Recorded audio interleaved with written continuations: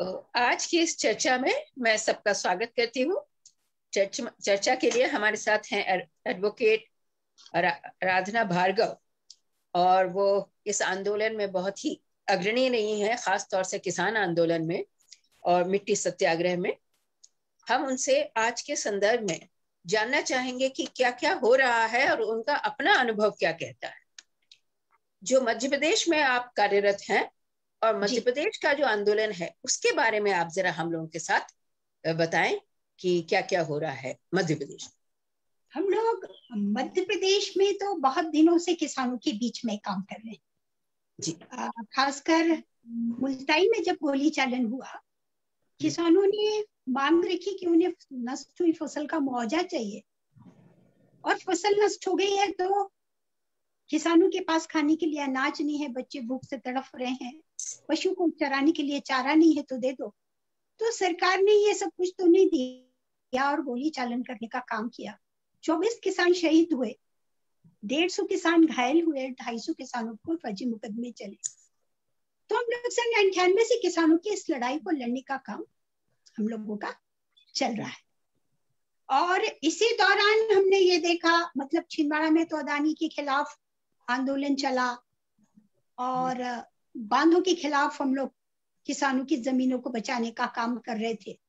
इसी दौरान हमने ये देखा कि ये तीन कृषि कानून इन्होंने लाए लॉकडाउन के दौरान लाए। और इसका विरोध शुरू हुआ। तो हम लोग तो काम कर ही रहे थे। पर ये जो मिट्टी सत्याग्रह हुआ जी। इतना इफ़ेक्टिव था कि जहाँ जहाँ लोगों ने सुना कि हमारे यहाँ की मिट्टी वहाँ पहुँचने वाली है शहीद स्तंभ बनाने के लिए तो लोगों में एक होड़ सी लग गई। क्या आप हमारे यहाँ से भी मिट्टी लेके जाओ? हमारे यहाँ से भी मिट्टी लेके जाओ। तो मुझको लगा कि ये जो किसान का मिट्टी से लगाव है कि एक बार वो बेटे को नहीं देखेगा, परिवार को नहीं देखेगा तो उसे चिंता नहीं होगी। पर उसे रोज अपना खेत दिखना चाहिए। अगर उसे अपना खेत नहीं दिखता तो वो बेचैन हो जाता है तो किसान का मिट्टी से गहरा रिश्ता है। और अगर अपनी ज़मीन बचानी है तो मिट्टी के साथ जुड़ना हमारा बहुत ज़्यादा ज़रूरी है। तो ये आंदोलन से लोगों का एक नए किस्म का मैंने जुड़ाव देखा और फिर मैंने ये महसूस किया कि इस आंदोलन को जहाँ हम अपने ज़िले से मिट्टी लेके दिल्ली की सीमाओं पर गए थे हम अपने जिलों में हर गाँव से मिट्टी इकट्ठी करें और हम शहीद स्तंभ हमारे ज़िले में भी बनाने का काम करें। और ये हमारा जो आंदोलन होगा, ये गाँव गाँव तक हम लोगों के पास पहुंचेगा। आज मुझे एक बात खुशी हुई कि जब हम लोग ये आज़ादी के खिलाफ जब आंदोलन चला रहे थे तो उस बच्चे की उम्र दस ग्यारह साल रही होगी। हम लोगों का जो आंदोलन चलता है, उस आंदोलन के बच्चे बहुत बड़ी ताकत होते हैं। हम लोगों को गिरफ़्तार करने के लिए पुलिस आई। तो करीब बीस गाड़ियाँ थी पर इन बच्चों ने पुलिस को अब वो अधिकारियों को पूरा भगा दिया। उसमें से एक बच्चे का आज फ़ोन आया। आ, वो मुझे मैडम कहते थे तुम कहती थी देखो भाई मैं तो तुमको स्कूल में पढ़ाती नहीं। या तुम्हें तुम्हारी बुआ हूँ या मौसी हूँ? तो ज़्यादातर बच्चों ने मौसी बोलना पसंद किया और आज भी वो बच्चे मौसी ही बोलते हैं। तो एक का फ़ोन आया मौसी ये बताओ ये जो तीन किसान विरोधी कानून है ये मैं समझना चाहता हूँ। मैंने आज का लिंक भी उसे भेजा। तो मुझे ये एक बात लगी कि गाँव का आदमी समझना चाहता है, और ये तीन किसान विरोधी कानून कैसे हैं, हम बहुत अच्छे तरीके से लोगों तक इस बात को नहीं पहुँचा पाए। डिबेट में तो हम टीवी पर लोग देखते हैं, पर ये हमको और आपको बात समझ में आती है क्योंकि हमने गहराई से अध्ययन किया है। पर गाँव का आदमी गुमराह हो रहा है, वो समझ नहीं पा रहा है। और जैसे कांग्रेस पहुँची तो वो वो जो बच्चा था, उसने कहा कि कांग्रेस तो लड़ रही है तो इसका लाभ हम लोगों को मिलेगा। तो फिर वो जो राजनीति के इर्द गिर्द होकर किसान के जो तीन किसान विरोधी कानून है, इसको वो पूरी तरीके से नहीं समझ पा रहे हैं और ये मिट्टी सत्याग्रह के माध्यम से हम लोगों तक पहुँचेंगे और हम मिट्टी सत्याग्रह आंदोलन अपने गाँव में, अपने ज़िले में हम बहुत अच्छे तरीके से चलाएँगे। मुझको ये बात महसूस हुई। अभी हमने बारह तारीख को किसान महापंचायत जूम मीटिंग के माध्यम से रखी थी जिसको लगभग हम्म। पाँच हज़ार लोगों ने देखा।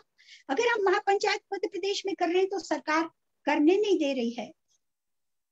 हमने सोचा जूम मीटिंग के माध्यम से उसको करें पर वो भी हमें तरीका बहुत अच्छा लगा कि आदमी आराम से घर में बैठकर बहुत ध्यान से बात को सुन रहा है कानून को समझने की कोशिश कर रहा है उस पर चर्चा कर रहा है।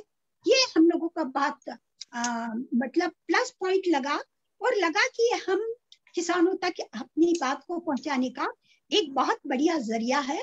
और हम हर महीने की बारह तारीख को तो करते ही करते हैं। हमने अठारह तारीख को मध्य प्रदेश के संयुक्त किसान मोर्चे की मीटिंग रखी। उसमें भी हमने देखा कि लोगों का रुझान बहुत अच्छा था और लोग बहुत अच्छे से जुड़े। बहुत अच्छे से बात रखी। लग रहा है कि आ, लोग चाह रहे हैं कि कोई तो व्यक्ति होता कोई तो संगठन होता जो हमें समझाता हमारे साथ जुड़ता हम उसके साथ जुड़ते उसकी भावनाओं के साथ जुड़ते और आ, तो इस तरह के जो संयुक्त किसान मोर्चे का जो हम आ, ये जो जूम मीटिंग रखते हैं ये मीटिंग से भी लोगों का रुझान बहुत अधिक बढ़ रहा है। क्योंकि अब मोबाइल फ़ोन सभी के पास आ चुके हैं। और ये कोरोना से लोग इतना ज़्यादा परेशान हो गए। अदानी पावर प्लांट का जो हमारा लड़ने वाला साथी था वो बोलने लगे कि ये कोई कोरोना वरोना नहीं है। वो तो आप तो मेरे को वो पेशेंट के पास जाने दो। तो फिर उसको मुझे समझाना पड़ा कि नहीं नहीं भाई ये कोरोना है और बहुत खतरनाक है। इस तरह का कोई काम हम लोग नहीं करेंगे। वेबिनार के माध्यम से हम लोग जूम के माध्यम से जुड़ेंगे। और इस किसान विरोधी कानून को निरस्त कराने की लड़ाई को साथियों, हम लोग आगे बढ़ाने का काम करेंगे। अभी हम लोग जो देख रहे हैं कि ये जो समर्थन मूल्य पर खरीदी का कुछ काम मध्य प्रदेश की सरकार ने कुछ सोसाइटी मंडियाँ तो बंद कर दी। मंडियाँ बंद कर दी, ये भी कह रहे हैं कि समर्थन मूल्य भी रहेगा और मंडी भी किसने मंडी खत्म कर दी? किसने कहा कि समर्थन मूल्य नहीं है? समर्थन मूल्य बराबर आपने गेहूँ का उन्नीस सौ पच्चीस रुपए रखा। परंतु उसमें नहीं खरीदने के बहाने किस तरीके से लगा रहे हैं? इस बात को सीधे तरीके से नहीं कर रहे, क्योंकि आंदोलन अभी चल रहा है। तो अभी जो मंडी, पहले नमी होती थी अनाज में तो चौदह परसेंट नमी पर खरीद लेते थे। अब कह रहे नहीं, ये चौदह परसेंट नमी में तो हम नहीं खरीदेंगे बारह परसेंट नमी उन्होंने कर दी है कि बारह परसेंट से कम नमी होगी तो खरीदेंगे। तो इसमें तो किसान को बहुत दिक्कत है। उसी तरह कहा, कह रहे हैं कि अगर पतला गेहूँ है तो दोबारा नहीं खरीदेंगे। अरे भाई, अगर पतला गेहूँ है और फ़सल खराब थी तो फ़सल बीमा का पैसा दो। तो फ़सल बीमा का पैसा भी नहीं दे रहे। पतला गेहूँ है, इसलिए नहीं खरीद रहे। चमक नहीं है, इसलिए नहीं खरीद रहे। उसी तरह मिलावट का, कि zero point seven five percent अगर मिलावट रहती थी तो गेहूँ खरीद लेते थे। अब उसको कर दिया है ज़ीरो ज़ीरो पॉइंट पचास परसेंट अगर वो रहेगा मिलावट रहेगा तो नहीं खरीदेंगे। किसान व्यापारी नहीं है। वो जानबूझकर किसी चीज़ को मिलाता नहीं है। और और कुछ दाने ऐसे निकल जाते हैं जो फ़सल के साथ लगते हैं। तो उसके कारण अगर इस तरह की दिक्कत होती है तो किस तरीके से परेशान करने का काम? किसानों को जब आंदोलन चल रहा है, तब ये हो रहा है तो अगर ये आंदोलन खत्म हो जाए तो बहुत बुरी स्थिति में किसान होगा। जिस जगह पर इन्होंने खरीदी के लिए सोसाइटी में खरीदने का ये कर रहे हैं, इतनी धूप में एक पंडाल नहीं कर कोई पीने के पानी की व्यवस्था नहीं, वहाँ पर भीड़ इकट्ठी होते जा रही है और ये जो गाँव में अभी तक साथियों हमारे यहाँ कोरोना ही था, ये गाँव में कोरोना फैलाने का काम इस मध्य प्रदेश की सरकार ने किया। किस किस तरीके से किया? क्योंकि गाँव से भी लोग हरिद्वार गए। हरिद्वार से आने के बाद गाँव में कोरोना फैल रहा है आप देखो, चुनाव प्रचार में भी पार्टी के गाँव के लोग भी गए। वो भी गाँव में लौटे कोरोना फैल रहा है। और सोसाइटियों में जब आप गेहूँ खरीदने के लिए आप उस व्यवस्था को बना सकते हो, सरकार हमने किस लिए चुनी? हमने सरकार जन कल्याण के कार्यक्रम को चलाने के लिए चुनी है, सिर्फ़ वोट लेने के लिए सत्ता प्राप्त करने के लिए। उसके बाद इस तरफ़ पे कोई ध्यान नहीं देना। ये साथियों, हमारे लिए बहुत कसप्रद है, बहुत दुखदायी है। हम लोग इसका विरोध करते हैं और हम लोग इस लड़ाई को लड़ने का काम कर रहे हैं। तो ऐसे दिन के जाएँगे नहीं। हाँ कोई जो वहाँ पर लड़ाई झगड़ा करेगा, कुछ विवाद करेगा, उसके गेहूँ को ये जल्दी खरीद लेंगे। बाकी किसानों के लिए लाइन पर लाइन लगी हुई है। उन्हें उसकी कोई चिंता नहीं वहाँ पर कोई मास्क की व्यवस्था नहीं है। वहाँ कोई सैनिटाइजर की कोई व्यवस्था नहीं है। वहाँ पर कोई खाने की व्यवस्था नहीं है। तो सरकार पूरी तरीके से अपनी अपनी जिम्मेदारियों से मुकरने का काम कर रही है और इस बात से किसान बहुत पीड़ित और परेशान है। ये बात नहीं है कि आंदोलन सिर्फ़ हरियाणा का है। ऐसी बात नहीं है कि आंदोलन सिर्फ़ पंजाब का है। ऐसी बात नहीं है कि आंदोलन सिर्फ़ उत्तर प्रदेश का है, क्योंकि किसान तो किसान है और पूरे देश का किसान एक तरीके से खेती करता, एक से उसके खर्च होते हैं एक से उसकी पीड़ा होती है, एक से उसकी परेशानी होती है, इसलिए सारे किसान उससे जुड़े और वो कष्ट को खुद देख रहे उन्हें किसी को, कोई सिखा नहीं सकता, कोई पढ़ा नहीं सकता, क्योंकि एक क्विंटल मक्का पैदा करने के लिए बारह सौ रुपए का खर्चा आता है। और जब वो मक्का छह सौ रुपए, आठ सौ रुपए क्विंटल में बिक रहा है, आप बताइए उस किसान को कौन पैका सकता है? वो तो खुद भोग रहा है ना कि भाई दो सौ रुपए घाटे में दुनिया का कोई व्यापारी ले आइए, अदानी ले आइए, अंबानी ले आइए, दुनिया का कोई व्यक्ति ले आइए, मिट्टी के अंदर कोई नहीं पैसा फेंकता। वो किसान ही है जो मिट्टी के अंदर पैसा फेंकता है और हम लोगों का पेट भरने का काम करता है। पूरी दुनिया को किसान का एहसान मंद होना चाहिए, पर हमारी सरकार उसके साथ बहुत बड़ा धोखा कर रही है और किसानी को पूरी तरह से मिटाने का काम करके कॉर्पोरेट सेक्टर के हाथ में पूरी तरह से देना चाहती है। अब इन्होंने मंडी व्यवस्था को खत्म करने के लिए ये जो कानून बनाए हैं, ये जो कृषि है, ये कृषि राज्य का विषय भारत के संविधान से इनका कुछ लेना देना नहीं। तो राज्य का विषय अगर कृषि है तो केंद्र सरकार कैसे कानून बना सकती है? तो अपने आप में एक कानून शून्य है। जो चीज़ तुम्हें तुम्हारे जुडिक्शन में नहीं है जुडिक्शन के बाहर अगर कोई चीज़ बनाओगे तो वो मान्य कैसे होगी? हम कैसे मानने क्योंकि तुम्हारा काम नहीं है। राज्य का विषय जिस कानून को बनाने का है, केंद्र ज़बरदस्ती उसको थोपने का काम कर रही है, और ये चाहती कि हम लोग चुपचाप बैठे रहे, हम पढ़े लिखे लोग कैसे चुपचाप बैठ सकते हैं? जब भारत के संविधान को हमने पढ़ा है, हम ये जानते हैं कि ये जुरिडिक्शन केंद्र सरकार का नहीं है। उसके बाद केंद्र सरकार हम देख रहे हैं, ज़ोर ज़बरदस्ती कर कर किसानों को दबाने का काम कर रही है। अभी हम लोगों का कई सूत्रों से पता चला कि भाई ये जो कलकत्ता के चुनाव होंगे, उसके बाद किसानों को हटाएँगे। इतना आक्रोश है किसानों को इस बात को सुनकर। उन्होंने अभी से तय कर लिया कि देखो कैसे हटाते हैं। हम तो गाँव गाँव मतलब गाँव गाँव नरेंद्र मोदी के और अमित शाह के, अदानी और अंबानी के पुतले जलाने का काम करेंगे। आप कितनी जगह रोक लोगे? अगर हम जिला स्तर पर करेंगे तो आप पकड़ लोगे। गाँव गाँव तक जब ये बात पहुंचेगी तो ये आंदोलन और मज़बूत होगा। मजबूती के साथ लोग खड़े होंगे क्योंकि ये ऐसी बात नहीं है कि कोई किसी को सिखा रहा है। रोज जो व्यक्ति भोग रहा है रोज जो कष्ट को भोग रहा है साथियों मेरा गेहूँ आज लगा हुआ है खेत के अंदर। उसकी कटाई नहीं हो पाई है क्योंकि गाँव में गाँव में भी एक डर का वातावरण पैदा हो चुका है। तो जितनी लागत हम लोग लगा रहे हैं वो लागत भी अगर नहीं निकल रही है तो फिर कैसे करके काम चलेगा? और जिस दिन अगर किसान ने ये कर दिया कि मुझे खेती नहीं करना है, उस दिन सरकार को समझ में आ जाएगा कि ये कहाँ से खिला पाएँगे। अभी तीन करोड़ लोगों के नाम इन्होंने गरीबी रेखा से काट दिए। सिर्फ़ इसलिए काट दिए कि राशन से लिंक नहीं, आधार कार्ड से लिंक नहीं हो रहा था। और किस तरीके से गरीबी और कुपोषण है और लोगों के पास अनाज नहीं पहुँच रहा है। अभी लॉकडाउन के दौरान लोग भुखमरी की कगार पर खड़े हैं। तो ये समझ में नहीं आता, ये कैसी चुनी हुई सरकार है? क्या इसीलिए हमारे लोगों ने कुर्बानियाँ देकर इस देश को स्वतंत्र कराने का काम किया था। मंडी व्यवस्था को पूरी तरह से चौपट करने का काम नहीं कर रहे फिर क्या कहते नहीं, मंडी तो है। कौन ने कह दिया? कि आपको तो बता रहे हैं कि मंडी कहाँ खत्म हो गई है? मंडी तो है, पर जब आप ये दो कानून बना देते हो कि मंडी के अंदर खरीदोगे तो टैक्स लगेगा और मंडी के बाहर खरीदोगे तो टैक्स नहीं लगेगा। रजिस्ट्रेशन नहीं करवाना पड़ेगा रिकॉर्ड नहीं होगा और सरकार की कोई ज़िम्मेदारी नहीं होगी तो फिर बताइएगा कि फिर सरकार हमने बनाई काय के लिए।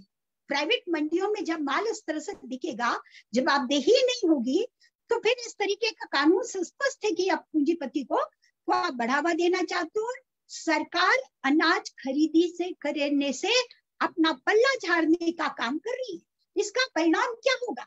किसान तो परेशान है, पर जब सरकार अनाज नहीं खरीदेगी तो सरकार अनाज बांटेगी कहाँ से? तो ये जो हमारी सार्वजनिक वितरण प्रणाली है, ये प्रभावित होगी बच्चे और महिलाएँ तो वैसे ही कुपोषित हैं। हमारा कुपोषण में, दुनिया में चौरानवे नंबर पर है हम, और ये कुपोषण इनसे नहीं रुक रहा है। किसी भी कीमत पर ये कुपोषण को नहीं रोक पा रहे हैं। तो सार्वजनिक वितरण प्रणाली से जब लोगों के पास अनाज नहीं पहुंचेगा, साथियों तो देखिए हालत क्या बुरी होने वाली है? इस देश में हमें उन साथियों के साथ भी जुड़ना जुड़ना पड़ेगा। तो ये जो स्पष्ट तौर पर दर्शाते हैं कि पूंजीपति को लाभ पहुँचाने के लिए ही ये कर रहे हैं और धीरे धीरे करके ये मंडी व्यवस्था को खत्म करेंगे। वो जो मंडियाँ हमारी बनी हुई है, उन मंडियों को ये माल में कन्वर्ट करने का काम करेंगे। ये पूरी सोच, ये पूरी समझ के साथ साथियों ये चीज़ों को हमने देखने का काम किया है। अब ये इन्होंने जो बना दिया कि नहीं, ठेका खेती का कानून बहुत बढ़िया है। अरे भाई, ठेका खेती का कानून बहुत बढ़िया हमारे तो मध्य प्रदेश के मुख्यमंत्री ने झांकी बनाई और कहा कि देखिए, ठेका खेती से तो कितना बढ़िया है। बीज भी बो देंगे, खाद भी बो देंगे इंस्ट्रूमेंट भी बो देंगे और माल को भी खरीदेंगे। सुनने में कितना बढ़िया लगा। पर हम जब देखते हैं, मेरे छिंदवाड़ा में पेप्सी कंपनी आलू लगवाती है किसानों से। तो जब पच्चीस रुपए किलो में आलू बाज़ार में बिक रहा था। उन्होंने पैंतीस रुपए के हिसाब, किलो के हिसाब से पैसा लिया। जहाँ ट्रैक्टर हम आठ सौ, नौ सौ रुपए में लेते हैं तो वो तो उसका चार सत्रह सौ, अठारह सौ रुपए लगाने का काम कर रहे हैं। और एग्रीमेंट किया इन्होंने। एग्रीमेंट में इन्होंने कहा कि हम चौदह रुपए किलो के हिसाब से आलू खरीदने का काम करेंगे। और जब आलू आया तो हम बारह रुपए किलो में खरीदने का काम ये कर रहे हैं। बताइए कि किसान ज़िंदा कैसे रहेगा? तो ये और जो ठेका खेती का कानून है हमारे यहाँ के किसान बहुत अच्छे से कष्ट और पीड़ा को समझ रहे हैं क्योंकि वो रोज इस बात को भोग रहे हैं। अब इनके जो एग्रीमेंट है एग्रीमेंट के पेज देखिए। अब कई लोग मेरे पास आए संसद से कि दीदी आप तो वकील हो मुकदमा दायर करने का काम करो। एग्रीमेंट देखा मैंने गई एग्रीमेंट पढ़ा तुमने? तो पहले वो तो जल्दी जल्दी दस्तखत करा देते हैं। कहा तक पाँच सौ पेज पे वो हम्म। पढ़ने का काम करेंगे? और वो भी अंग्रेज़ी में हमें तो दीदी ठीक से हिंदी पढ़ना नहीं आता। हम ये अंग्रेज़ी का एग्रीमेंट कैसे समझेंगे? मैंने बताया भैया, ये ठेका खेती के कानून में न्यायालय जाने से मना कर दिया। किसान न्यायालय नहीं जा सकता। न्याय प्राप्त करने का अधिकार किसान को नहीं है। भारत के संविधान में जहाँ न्यायपालिका कार्यपालिका विधायी का काम करेगी, ये हमारे जो स्तंभ है, न्यायपालिका को आपने खत्म करने का काम कर दिया। मतलब अगर मुकदमा दायर करना है तो किसान न्यायपालिका के पास नहीं जाएगा, एसडीएम के पास जाएगा। अब आप और हम बहुत अच्छे तरीके से समझते हैं कि एसडीएम के पास या तो लिफाफा चलता है या राजनीतिक अप्रोच चलती है। तो किसान का कहाँ भला होगा? वो जब लाखों रुपए का फाइन होगा। जैसे आलू है। अब आलू, चूँकि मैंने यहाँ देखा, इसलिए मैं आलू की बात आपके सामने रख रही हूँ। वो बहुत बड़े स्तर का मतलब बड़ा आलू उनको चाहिए। छोटा आलू नहीं खरीदेंगे। अब जो छोटा आलू मतलब आपने बीज दे दिया, आपने खास दे दिया, पर अब पैदावार की ज़िम्मेदारी किसान की। अगर ठंड पड़ जाएगी तो ठंड के कारण वो पूरा आलू जम जाएगा और आलू उस क्वालिटी का नहीं होगा तो कंपनी उल्टा उल्टा मुकदमा किसान के ऊपर ठेकेगी और उसके ऊपर लाखों रुपए का जुर्माना होगा, जबकि किसान की कोई गलती नहीं है। अगर तुषार पड़ जाता है, अगर सूखा पड़ जाता है तो वैसी स्थिति में उत्पादन की ज़िम्मेदारी किसान पर डाल दी और वो फिर अगर उस क्वालिटी का अगर आलू लेकर नहीं आएगा तो आप उसके ऊपर एसडीएम के मुकदमा दायर करने का काम करेंगे। आपके पास तो बड़े बड़े वकील होंगे जिनको खड़ा करने का काम करोगे। पैसा होगा तो फैसला कंपनी के पक्ष में होगा और लाखों रुपए का जुर्माना जब किसान पटाएगा तो कहाँ से पटाएगा? पूंजी नहीं है उसके पास बैंक बैलेंस नहीं है उसके पास। ये ज़मीन बेचेगा और वही पूंजीपति उसकी ज़मीन को खरीदने का काम करेगा। ये कहते हैं, कहा लिखा है? कहा लिखा है तुम्हें ज़मीन ज़मीन बिक जाएगी। कैसे किसान की आपकी ज़मीन छिन जाएगी? ये लोग तो तुमको गुमराह कर रहे हैं। तो मैं कहती हूँ, आप लोग आओ ना हमारे साथ चर्चा करो। और मुझको बताने का काम करो कि जब अगर जो भी चीज़ आपने पैदा करने के लिए कहा है, आपको चमकीली चीज़ चाहिए, आपको बहुत अच्छी चीज़ चाहिए। आप ज़्यादा से ज़्यादा उसमें क्या करवाओगे? उसमें खाद का उत्पादन मतलब रसीली रासायनिक खाद डलवाओगे और जो पर्यावरण पर भी असर पड़ेगा और जो फ़सल पैदा होगी, वो भी नुकसानदायक होगी। साथियों, ठेका खेती के बारे में मैं थोड़ा पीछे जाना चाहूँगी कि हम जो जब देखा हमने कि इंग्लैंड के लोग हमारे यहाँ से कपास ले जाते हैं और मैनचेस्टर में बड़ी बड़ी इन्होंने कपड़े की वहाँ पर फैक्ट्रियाँ बनाने का काम किया था और बढ़िया सफ़ेद झकाक इनका कपड़ा बनता था पर उसको रंग देने के लिए नील चाहिए थी।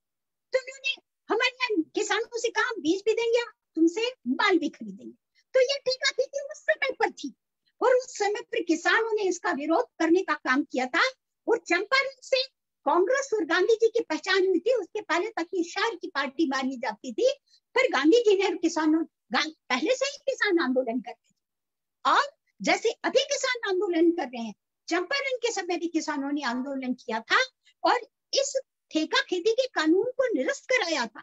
मतलब हमारे पूर्व के अनुभव में कि ये ठेका खेती किसान के पक्ष की नहीं हो सकती और इस ठेका खेती को निरस्त कराने के लिए ये जो कानून बनाया है, इस कानून को साथियों निरस्त कराना बहुत ज़्यादा आवश्यक आवश्यक वस्तु अधिनियम संशोधन कर दिया।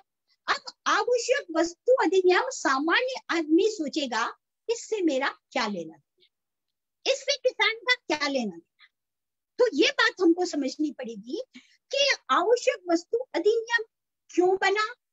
हमें फिर बंगाल की में चले हम। पूरा हम देखें जब कृत्रिम अकाल पड़ा था, अनाज पर्याप्त मात्रा में था, लोगों के व्यापारियों के घर भंडारण पूरे भरे हुए थे, पर गरीब को खाने के लिए अनाज नहीं था। बच्चे तड़प रहे थे भूख से, तड़प तड़प कर बच्चे मर रहे थे, और पर जिनके पास पैसा था, वो अनाज खरीद सकते थे, जिनके पास पैसा नहीं था वो भुखमरी से मर गए, तब उन्नीस सौ पचपन में सरकार ने आवश्यक वस्तु अधिनियम बनाया साथी और उसमें क्या कहा कि भाई, चार महीने से जाके आप भंडारण नहीं कर सकते। आप जाके लाभ कमाने का काम नहीं कर सकते। तो ये इन्होंने, ये जो पूरी चीज़ें हैं, इस चीज़ को खत्म कर दिया। अब बताइए, बोलते हैं कि नहीं, ये लाभ का है? मेरे को एक आदमी आकर बताना चाहे। मैं तो आपके इस चैनल के माध्यम से भी पूछना चाहती हूँ। कि मुझे बताओ कि इसमें किसान का कहाँ पर लाभ है? हम्म। आपने भंडारण कौन कर सकेगा? मेरा किसान कर सकेगा? अरे उसके घर में नहीं है। अगली फ़सल को रखने के लिए जगह है। उसने मक्का पिका नहीं मक्के से घर भरा हुआ है। गेहूँ रखने की उसके पास जगह नहीं है। वो कहाँ पर करेगा? भंडारण के लिए उसके पास पैसा नहीं है। क्योंकि आपकी गलत नीतियों के कारण आज किसान कर्जे में है। क्योंकि शुरू से किसान का शोषण करते चले गए उसके पास पूंजी नहीं है। वो और वो कर्ज में डूबा है। कहीं वो साहूकार के कर्ज में डूबा है, सोसाइटी के कर्ज में डूबा है, बैंक के कर्ज में डूबा है। और सरकार ने जैसे मध्य प्रदेश में कमलनाथ की सरकार ने कहा कि हम किसान का दो लाख का कर्जा माफ़ करेंगे। अब किसान का कर्जा माफ़ नहीं हुआ, वो तो कर्ज में है बेचारा, उसकी क्या गलती है? पर वो वसूली की कार्यवाही, उससे उन लोग जारी करने का काम कर रहे हैं। तो ये जो भंडारण जो है, ये भंडारण करेगा पूंजीपति। पूंजीपति बड़े बड़े लोग के ही भंडार ग्रह होंगे और वही उसमें भंडारण करने का काम करेगा और पूंजीपति को लाभ पहुँचाने के लिए ही तो इन्होंने इस तरीके के कानून को बनाने का काम किया है। इससे किसान का दूर से दूर तक कुछ लेना देना नहीं है। बड़े बड़े भंडार गृह ये बनाएँगे, बड़े कोल्ड स्टोरेज बनाएँगे। सुनने में बहुत अच्छा लगेगा कि भाई, अनाज खराब होता है, अनाज बड़ा बड़ा रहता है अनाज सड़ता है फिर आप ही लोग कहते हो कि ये शराब माफिया को देने का काम करते हैं, इसलिए अनाज को सड़ाते हैं तो हम नहीं रख सकते तो ये बड़े गोडाउन हो जाएँगे तो बड़े गोडाउन में क्या होगा कि अनाज सुरक्षित होगा। तो इससे किसान को क्या लाभ होगा? और कोल्ड स्टोरेज भी बनेंगे तो बोले ये फल वगैरह सब्ज़ियाँ सड़ेंगी नहीं तो ये कोल्ड स्टोरेज और अंडार, अनाज भंडारण व्यापारी वहाँ पर लगाएगा पूंजीपति जहाँ उसको लाभ होगा। पर किसान को जहाँ चाहिए ये चीज़ें, वहाँ पर नहीं मिलेंगी और सरकार पल्ला छाल देगी। और सरकार कहेगी, अब ना तुमसे कोल्ड स्टोरेज बनाने की ज़रूरत है और ना उससे भंडार गृह को बनाने की ज़रूरत है। और पूंजीपति के हाथ में पूरे देश को इन लोग उसके हवाले पर करने का काम करेंगे। और जब व्यापारी को, पूंजीपति को फ़सल खरीदनी होगी तो दाम गिर जाएँगे। और जब उपभोक्ता को बेचना होगा तो दाम बढ़ जाएँगे। तो इस बात को हमको समझना पड़ेगा। हमें, मैं आपको एक उदाहरण के तौर पर समझाती हूँ। मैं, मेरा जिला बहुत बड़ा जिला नहीं है, छिंदवाड़ा, पर रिलायंस का स्मार्ट बाज़ार यहाँ पर है, जहाँ पर सब्ज़ियाँ बिकती है। लहसुन का आधा किलो का पैकेट है, उसके ऊपर लिखा है दो सौ रुपए रेट और सैतालीस परसेंट वो डिस्काउंट दे रहे हैं। अगर इस डिस्काउंट वो समाप्त कर देंगे तो वो लहसुन पड़ेगा हमको चार सौ रुपए किलो में और हमें खरीदना पड़ेगा। हमारे से मकान तो आप देखेंगे कि भुट्टा हमसे कितने में खरीद लेते हैं। अरे खरीदना तो दूर साहब किसान के घर में तो मेरा मन करता है कि भुट्टा खाना है तो मैं बोलूँगी काका मुझे भुट्टा खाना है। एक तो काय को बेटा चार तो ले जा है ना? और इस तरीके से लोग ले आते हैं। गन्ना ले आते हैं होला ले आते हैं बटाने ले आते हैं। और अभी आ, मैं कहा पर ये मिट्टी सत्याग्रह यात्रा में ही जा रही थी साथियों तो मैंने देखा कि जो बस का ड्राइवर था, उसको प्याज लेनी थी। ऐसा किसान बाजू में बैठा हुआ था, वो रुका। तो वो बोला कि, दो प्याज दे दो। तो वो बोला, दो नहीं, चार ले जाओ। मैंने कंडक्टर से कहा कि रिलायंस के शोरूम से लेकर दिखाना तो मैं मानूँगी, आज मेरे किसान का कलेजा है, जो इस तरह से दे देता है रिलायंस के अंदर तो आप घुस भी नहीं सकोगे साथियों। ये बात हमको समझनी है और लोगों को समझाने का काम करना है। एक भुट्टा हमारा पाँच रुपए का, पाँच रुपए में अगर हम किसान से ले लिए तो किसान खुश। पर वही भुट्टा वही किसान अस्सी रुपए में लेकर आता है। तो ये जो बात मैं आपसे कह रही हूँ कि किसान से सस्ते रेट पे लेंगे और फिर जब वो भोक्ताओं को ये महँगे कीमत पर बेचेंगे, मक्का अभी क्या हुआ? अभी तो ये बोल रहे ना कि मंडी का कंपटीशन रहेगा, खुले में मंडी, बाज़ार की मतलब सरकारी मंडी भी रहेगी और प्राइवेट मंडियाँ भी रहेंगी। कंपटीशन होगा, किसान को लाभ अरे भैया कंपनी कभी कंपटीशन नहीं करेंगी। कंपनियों को ये बात मालूम है कि वो मिट जाएँगे, वो बर्बाद हो जाएँगे, इसलिए कंपटीशन नहीं करेंगे। मका अगर एक व्यापारी ने सात सौ रुपए की बात करी तो किसी व्यापारी ने सात सौ एक रुपए की बात नहीं करी। आज भी अदानी है, आज भी अंबानी है, आज भी बड़ी कंपनियाँ हैं। मेरे किसान का मका छह सौ आठ सौ रुपए की क्विंटल से ऊपर पे नहीं पहुँचा। जब आंदोलन चल रहा है, तब ये स्थिति है। जब ये आंदोलन खत्म हो जाएगा तो साथियों, क्या होगा? ये बात हमें समझनी पड़ेगी। हमारे यहाँ से तो तुमने छह रुपए किलो में मका ले लिया और वही मक्के का आटा रिलायंस में अस्सी रुपए किलो में बेच रहे हैं। तो क्या हम लोगों को चुपचाप बांटना चाहिए? क्या हम लोगों को अपने घरों में डर कर दबक कर बैठना चाहिए? हमें निकलना होगा, साथियों। और अगर हमने किसानी को नहीं बचाया, हमने अपनी धरती को नहीं बचाया तो फिर हमने क्या किया? हमारे जीने का मकसद क्या है? ये बात साथियों, हमको सोचनी पड़ी। अगर कोई ये मुझसे कहे कि ये जो आंदोलन से क्या निकलेगा? क्यों परेशान हो रहे हो? तो मैं बताऊँ, सब कुछ आंदोलन से ही निकलेगा। ये देश भी आज़ाद हुआ है तो आंदोलन के कारण ही हुआ है। ये बात भी साथियों, हमको समझनी पड़ेगी और इस आंदोलन से हमने दो चीज़ें अभी पाई है। अभी जो हम लोगों ने पाया है ये जो ये जो बनाया था इन्होंने, एक कानून बना दिया था कि जिसके अंतर्गत ये था कि अगर पलारी जलाएगा किसान तो एक करोड़ रुपए का जुर्माना और पाँच साल जेल के अंदर रहेगा। ये कानून बना दिया और पूरे देश में क्या बताने की कोशिश की कि ये जो पूरा पर्यावरण खराब हो रहा है, उसके लिए किसान पूरी तरीके से दोषी है। इन्होंने वो बड़ी बड़ी फैक्ट्रियाँ नहीं दिखी। उन्हें ये गाड़ी का धुआँ दिखाई नहीं दिया। उन्हें ये एसी जिससे पर्यावरण प्रभावित होता है, ये चीज़ें नहीं दिखी। उन्हें नहीं दिखा कि इतना ज़्यादा रासायनिक खाद के कारण हमारी ज़मीन बंजर हो रही है, पर उन्हें हमारी किसान का पलारी जराना दिख गया और वही उन्होंने सबसे बड़ा कारण बनाया और कानून बना लिया। कि मतलब एक करोड़ रुपए किसान देगा कहाँ से? और कंडीशनर नहीं तो क्या पाँच साल के लिए जेल चला जाए किसान और ये उसकी ज़मीन पर कब्जा कर ले, इस आंदोलन की ही परिणति है कि हमने इस लड़ाई को जीता और अति जीता। और ये तीन किसान विरोधी कानून को भी हम जीत कर ही रहेंगे।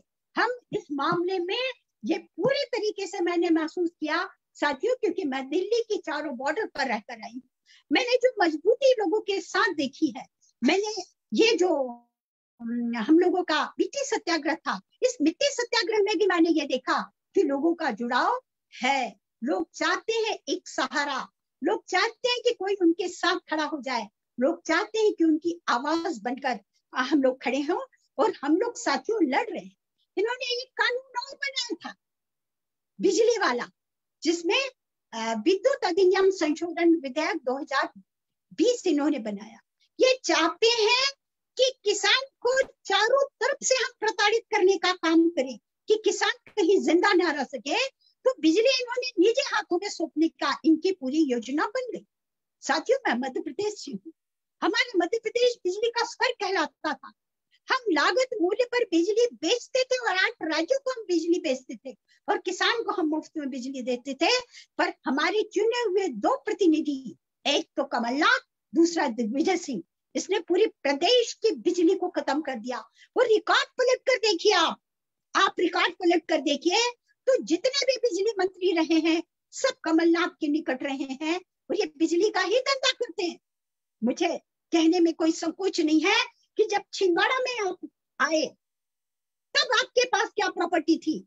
और आज आपके पास प्रॉपर्टी कैसे बढ़ी क्या इसीलिए हम चुनकर अपना अपना वोट क्या इसलिए देते हैं? कि लोग अपनी संपदा बढ़ाएँ।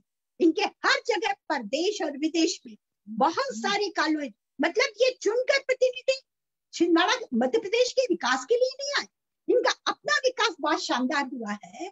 बेटे को इन्होंने सांसद बनाया तो 600 कुछ करोड़ रुपए बेटे के 200 करोड़ बहू के नाम पर। और मतलब ये तो व्हाइट मनी है। ब्लैक मनी का तो कोई हिसाब ही किताब नहीं है। कि कितना होगा? सवाल मुझे इस बात का नहीं है कि किसके पास कितनी प्रॉपर्टी है। सवाल इस बात का है कि चुने हुए प्रतिनिधि इस पद का उपयोग करते हुए इस प्रदेश की पूरी बिजली को आपने खत्म कर दिया अपना घर और अपना परिवार बनाने के लिए हमारे बिजली के मीटर थे। सबसे बड़ी बात हमारे तांबे के तार थे। ये कहा चले गए तांबे के तार? पूरे प्रदेश के जिसमें साथियों कार्बन नहीं लगता था। और जिस तरीके से हमारी किसानों के खेत पे चिंगारियाँ जाती हैं। आज खेत के खेत जल रहे हैं। परेशान हो रहा है किसान। बार बार मुझे फ़ोन करता है। मैं भी अपने आप को कोरोना के समय असहाय पाती हूँ। पिछले साल लोगों के खेतों में जो आग लगी थी, उसका पैसा आज तक नहीं मिला मुआवजा। और अभी फिर शुरू हो गया है। दोषी कौन? है ये आपके जो आपने कॉपर के तार निकाल लिए। एल्यूमिनियम के तार को लगाने का काम किया? ये देश किसी नेता की पूंजी नहीं है। ये देश यहाँ के एक एक नागरिक की मेहनत की कमाई से बना हुआ देश है, जो गरीबी रेखा के नीचे जीवन यापन करता है तो वो व्यक्ति भी इस देश के विकास के लिए अपना योगदान देता है। और अगर वो ये सोचने लगे कि सरकार ने उसे क्या दिया है तो आप कहेंगे कि भीख का कटोरा देने का काम सरकार साथियों करने का काम कर रही है। जो सामान चाहे तो मैं जो बिजली की बात कर रही थी आपके साथ कि बिजली में हमको कहाँ पर पहुँचाने का काम किया है? हमारी कोयले की जो बिजली बनती थी, उसकी लागत थी पच्चीस पैसे। और पानी से जो बिजली बनती थी, उसकी लागत थी साथियों पंद्रह पैसे। उसको धीरे धीरे धीरे धीरे खत्म करने का काम इनने कर दिया। और अब वो प्राइवेट हाथों में बिजली दे रहे हैं, जो गरीबों को मुफ़्त में बिजली मिलती है, जो किसानों को सब्सिडी मिलती है, उस सब्सिडी को भी खत्म करने का काम ये करना चाह रहे थे। पाँच हाउस पावर की मोटर का जो किसान पाँच हज़ार सात हज़ार देता है उसका पचासी हज़ार रुपए बनेगा। समर्थन मूल्य पर खरीदी का कानून आप नहीं बनाओगे। पर बिजली को जो प्राइवेट हाथों में देने का काम का जो कानून था तो ये दो उपलब्धियाँ इस किसान आंदोलन ने अभी प्राप्त की है साथियों। ये ऐसी नहीं मिल गई। हमारे किसानों ने कुर्बानियाँ दी हैं। हमारे अभी तक के आ, एक तीन सौ पचासी किसान शहीद हो चुके हैं। और कल भी एक किसान ने शहादत देने का काम किया। हमारे इन किसानों की शहादत साथियों, हम लोग बेकार जाने नहीं देंगे। हम लोग जो चीज़ मांग नहीं रहे थे, वो चीज़ देने का काम किया। हम क्या मांग रहे थे? हम लोग तो कह रहे थे, एक बार किसान को कर्जा मुक्त कर दो। कर्जा माफ़ करो, नहीं कह रहे। कर्जा मुक्त कर दो। एक बार या आदेश कर दो कि इस देश के किसान के ऊपर कोई कर्जा नहीं। हम ये बात भी क्यों कह रहे हैं? कि आपकी गलत नीतियों के कारण सरकार की गलत नीतियों के कारण किसान कर्जे में है। दुनिया में कोई धंधा नहीं है साथियों, जिसके तीन महीने में एक के हज़ार होते हो। उद्योगपति, पूंजीपति, अदानी अंबानी सब बता दें कि एक मक्के का दाना अगर उस किसान ने डाला है तो उस दाने के कम से कम हज़ार दाने निकलेंगे। एक एक एक पेड़ में दो बुट्टे लगे हैं। और एक भुट्टे को अगर आप दाने को गिनने की कोशिश करेंगे साथियों 500 से ऊपर एक भुट्टे में निकलेंगे और दो भुट्टे में हज़ार, कम से कम हज़ार निकलेंगे। और अब तो तीन भुट्टो वाला भी वो आ रहा है। तो तीन महीने में एक के हज़ार हो सकते हैं। खेती घाटे का सौदा नहीं हो सकता। और ये बात अदानी और अंबानी ने पूंजीपति ने अच्छे से समझी है कि खेती ही एक ऐसा है जो फ़ायदे का धंधा है और फ़ायदे का धंधा होने के कारण उस पर उनकी नियत लगी है। इनके पास पानी है। इनके पास खाद है, इनके पास बिजली है, इनके पास बाज़ार है, इनके पास एयरपोर्ट है, इनके पास हवाई जहाज़ है, जिसमें ये जहाँ चाहे वहाँ पर व्यापार करने का काम कर सकते हैं। प्रधानमंत्री जी कहते किसान की आमदनी दुगनी होगी। सच कहते हैं प्रधानमंत्री, गलत कहा कह रहे हैं? उनकी निगाह में दो ही किसान एक अदानी है और एक अंबानी है। अदानी और अंबानी की दुगनी चौगनी कितने गुनी आमदनी होगी। ये तो प्रधानमंत्री जी आपको समझ में आएगा। जिस दिन सत्ता भी आपके हाथ में नहीं होगी, सत्ता भी अदानी और अंबानी की होगी, तब आपको समझ में आएगा कि आप कितनी बड़ी गलती करने के लिए जा रहे थे। तो ये बातें हमको समझनी, हम लोग तो समझ चुके हैं और हम इसीलिए साथियों, जब तक हमारी शरीर में जान है, हम इस लड़ाई को लड़ने का काम करेंगे। तो ये जो कर्जा मुक्ति की बात हमने कही थी कि एक बार कर्जा मुक्ति कर दो, दूसरा, हर फ़सल का, जो भी किसान उत्पादन करता है, उसका सबका समर्थन मूल्य तय करो। मछली का समर्थन मूल्य तय करो, सिंगाड़े का समर्थन मूल्य तय करो, मिर्ची का तय करो, धनिया पत्ती का करो, अदरक का करो। इसका मतलब ये थोड़ी करें कि सरकार इन सब चीज़ों को खरीद। हम तो कह रहे कुछ भी मत खरीदो तुम। परंतु ये तो बात कह दो कि अगर समर्थन मूल्य से कम पर कोई खरीदेगा तो वो जेल जाएगा। ये कानून बनाने में क्या दिक्कत है? इस कानून को अगर बना देते हो तो फिर तो फिर तो किसान को कुछ मांगने की ज़रूरत नहीं है। अब आप कहोगे कि, ये कहेंगे कि लो, ये तो नई बात बताने लगी। एक तरफ़ वो गरीब की बात करती है, दूसरी तरफ़ ये इस महँगाई को बढ़ाने का काम खुद कर रही अब मैं जैसे आपको ये बात बता रही थी कि मक्के का समर्थन मूल्य अठारह पचास रुपए क्विंटल इन्होंने किया। अब वो बिक क्या भाव रहा था? छह सौ रुपए, आठ सौ रुपए क्विंटल में। तो वो किसान को तो नुकसान हो रहा। किसान ने तो वहाँ नुकसान। चार सौ रुपए किलो का चार सौ रुपए का नुकसान उसने एक क्विंटल पर उठाया। उसके बाद दोबारा फिर उसकी उसकी हिम्मत देखी कि वो फिर बोनी करने के लिए जा रहा है। वही उपभोक्ता एक भुट्टा कितने में खरीद रहा? अस्सी रुपए में खरीद रहा है। और एक किलो मक्के का आटा सौ रुपए में स्मार्ट वो रिलायंस स्मार्ट के अंदर बिक रहा है। तो आप बताइए कि अगर आप उसका समर्थन मूल्य पर खरीदी का कानून कर देंगे तो किसान भी नुकसान में नहीं है और यहाँ उपभोक्ता भी नुकसान में नहीं होगा। धनिया पत्ती का अगर आपने रेट तय कर दिया, धनिया पत्ती बहुत महँगा बीज लेकर किसान आता है। और जब वो ज़्यादा तादाद में बाज़ार में आता है तो एक रुपए किलो में क्या कई बार उसे खेत में बेचने, फेंकने की ज़रूरत पड़ती है और उपभोक्ता के पास तक वो सामान नहीं आ पाता। तो इस तरीके की व्यवस्था अगर हो जाएगी तो उपभोक्ता भी बचेगा और साथियों किसान भी बचेगा। इसका कहना सब कुछ का। जब केरल की सरकार सब्ज़ी का समर्थन मूल्य तय कर सकती है तो हमारे मध्य प्रदेश की सरकार क्यों नहीं कर सकती? ये बात साथियों हमको समझनी पड़ेगी कि जब दूसरी जगह पर हो रहा है तो ये हमारे यहाँ तो हो ही सकता है।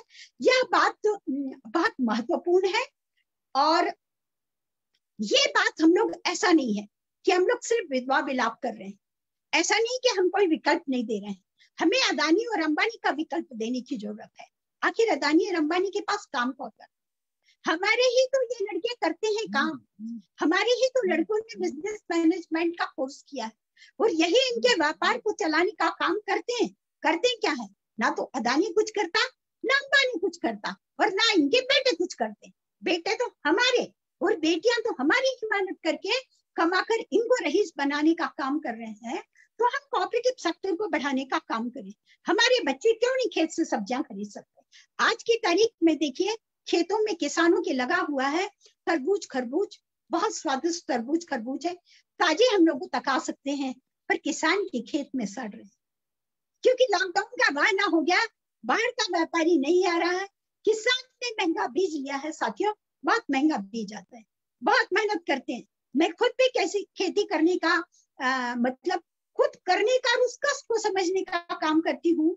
मैं अपना अंगूठा दिखाऊँ कि मैं चने की भाजी बहुत अच्छी लगती है तोटे के लिए गई।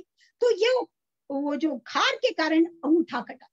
अब उसके कारण तोड़ते भी नहीं बन। अभी भी अंगूठा पूरी तरीके से नहीं हुआ वो झुककर, जो काटते हैं, मैंने चने को भी काटने की कोशिश की।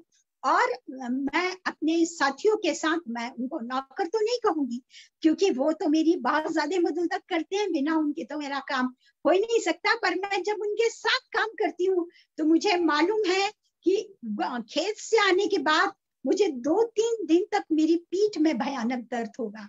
ये कितने कष्ट से अनाज पैदा होता है इस कष्ट को और पीड़ा को साथियों मैं बहुत अच्छे तरीके से समझती हूँ। उनके साथ मिलकर मैं अपनी खेती का काम पूरी तरीके से करती हूँ। तो मार्केटिंग की व्यवस्था भी हम करें। हम इन पूंजीपतियों को सिर्फ़ आ, मतलब क्रिटिसाइज अकेला करने का काम ना करें। हम लोग अपना ग्रुप बनाए। जैसे हमने अभी संयुक्त किसान मोर्चे की मीटिंग रखी। मैंने उसमें नए साथियों को जोड़ने का काम किया कि भाई वो किसान का तो वहाँ पर तरबूज खराब हो रहा है। आप उससे लेकर आओ, उसको बोलो कि हम तो शाम को पैसा देंगे, क्योंकि आपके पास पूंजी नहीं है। जिस गाड़ी में लाओगे, उस गाड़ी वाले से भी बोलो कि डीजल और पैसा हम शाम को आपको देंगे। आप आइए, छिंदवाड़ा की कॉलोनी में आइए, गाड़ी में घंटी लगा दीजिए। घंटी बजाइए, सब लोगों को पता चलेगा आप ताज़ा फल लेकर आए हैं। वहाँ किसान पाँच रुपए, छह रुपए किलो में कोई खरीदने वाला नहीं, या चालीस पचास रुपए किलो में भी ताज़ा नहीं मिल रहा। अगर बीस रुपए किलो के हिसाब से भी करोगे तो किसान को भी लाभ होगा और संगठन भी चलेगा और हमारे नौजवान जो बाहर से नौकरी छोड़ छोड़ कर आए हैं, जिन्हें नौकरी का अनुभव है, वह भी साथियों बहुत अच्छे से होगा और हम जो गाँव की अर्थव्यवस्था को मज़बूत करना चाहते हैं, शहर में कुछ नहीं, शहर के लोग सिर्फ़ मार्केटिंग करने का काम करें। और गाँव में जितना भी उत्पादन होता है, गाँव में हो, जैविक दूध पैदा हो, जैविक सब्ज़ियाँ पैदा हो, जैविक अनाज पैदा हो, और कोई ज़रूरत नहीं किसी फैक्ट्री में जाने की, अपने गाँव को मज़बूत करने का काम करो, सब कुछ सीख कर आए हो, और इस देश की अर्थव्यवस्था मज़बूत होगी। विकल्प के तौर पर नौजवान साथी कोऑपरेटिव सोसाइटी बनाए। हमने मछली की भी सोसाइटी बना के रखी है, हमने पर्यटक की सोसाइटी भी बना के रखी है और हम चाहते हैं कि इस तरीके का साथियों सब लोग अपना अपने अपने जगह पर करेंगे तो मुझे लगता है कि आंदोलन बहुत मजबूती के साथ चलेगा। कोरोना खत्म होगा हम लोग दिल्ली के बॉर्डर पर जाएँगे। हम लोग दिल्ली आ, में जो साथी आंदोलन कर रहे हैं जिन्होंने शहादत दी, दी है हम उनके साथ बारी बारी से ज़िले ज़िले के से होते हुए लोग जाएँगे। इस तरीके की टीम साथियों हमने अपने मध्य प्रदेश में बना कर रखी है वो आंदोलन यहाँ पर भी चलेगा वो आंदोलन दिल्ली में भी चलेगा। चुनाव के क्या नतीजे आएँगे? देश बहुत अच्छे तरीके से समझ चुका है। मध्य प्रदेश में चुनाव हुए दमोह। पकड़ा गई वो मशीनें पकड़ा गया वो पैसा पकड़ा गया वो शराब। अब तो बच्चा बच्चा समझने लगा है कि आप किस तरीके से चुनाव करवाने का काम कर रहे हो। इस लोकतंत्र से लोगों का विश्वास टूट रहा है। ये ये जो देश के लिए ठीक नहीं है और ये देश देश आ, मतलब इससे अराजकता फैलेगी और पूरी तरीके से जिन प्रतिनिधियों पर से लोगों का विश्वास उठ रहा है और ये लोग बहुत अच्छे तरीके से समझ रहे हैं कि ये अगर सत्ता में बैठे हैं तो देश को लिए को बेचने के लिए बैठे हैं किस लिए लेते हैं? इतना वेतन अगर ये समाज सेवा का काम है तो इतना वेतन और इतने भत्ते की क्या ज़रूरत है? वो किसान जो सुबह से शाम तक मेहनत करता है, ना वो ठीक से सो पाता। उद्योगपति के लिए तो आपके पास चौबीस घंटे लाइट है। और वो लाइट की चोरी, छिंदवाड़ा का बताती हूँ, रामन करके फैक्ट्री है है ना?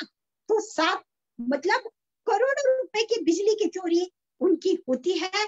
और किसान ने अगर धोखे से एक बार टाल दिया और अगर उसने गानी कर दी तो आपने किसान को विद्युत चोर के नाम पर किया।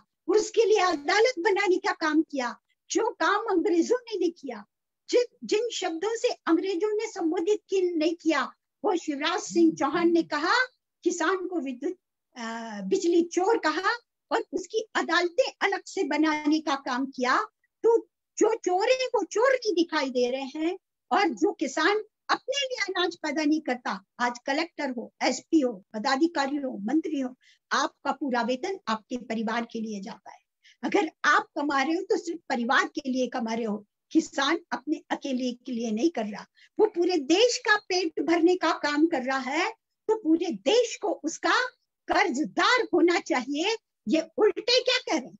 ये कहते हैं नक्सलवादी है कभी कहते हैं आतंकवादी है कभी कहते हैं खालिस्तानी है। तो जिस लक, एक लकड़ी से जिन्होंने अभी तक किसानों को हाँकते चले आए हैं ना चाहे वो मिलताई का किसानों को आंदोलन रहा हो, ये किसान के आंदोलन की शुरुआत तो साथियों मुल्ताई से हो गई, जहाँ पर किसानों ने मांगा था, सिर्फ़ फ़सल का नष्ट हुए, फ़सल का मुआवजा, इन्होंने उसके बदले में गोली दी। चौबीस किसान शहीद हुए, डेढ़ सौ किसान घायल मतलब आज भी कुछ किसान ऐसे हैं, एक किसान के गले में यहाँ गोली। साथियों मतलब अंठानवे से आदमी सिर्फ़ पानी घुटकता है, या कुछ ऐसा सामान लिक्विड में लेता है, वो भोजन भी नहीं कर पा रहा है। कुछ किसान ऐसे एक के हाथ में गोली लगी है, हाथ लटक रहा है, और उसी को मुझे बनाने का काम कर दिया और उसी को सजा दिलाने का काम कर दिया। फिर उन्होंने मसवाक में गोली चालन किया। क्या किया था मसौर की किसान? किसान ने यही कहा ना कि फ़सल का दूध का समर्थन मूल्य तय कर दो, सब्ज़ी का समर्थन मूल्य तय कर दो। तो तुमने गोली चलाने का काम किया तो ये जो तुम करते चले आए थे, वह काम वहाँ पर मत करना। बैठे बात मज़बूत लोग। वो पंजाब के लोग जो सेना में अपने बेटे को बेच भेजने का काम कर रहे हैं, उन्हीं का कलेजा है कि एक तरफ़ वो अपने बेटे को देश की सुरक्षा के लिए खड़ा भेज रहा है और दूसरा वो यहाँ पर खड़ा हुआ है। वो समझ रहा है कि आपकी इस साजिश को और इस आंदोलन की एक विशेष और बताऊँ साथियों, इसमें नौजवान लड़के जुड़े हैं, इसमें नौजवान लड़कियाँ जुड़े हैं पढ़े लिखे लोग जुड़े हैं जो ये